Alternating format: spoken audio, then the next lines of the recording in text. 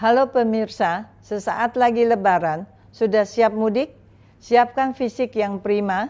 Bagi pemudik yang menggunakan kendaraan, jika diperlukan, Anda bisa melakukan cek kesehatan gratis di pos-pos kesehatan yang tersedia.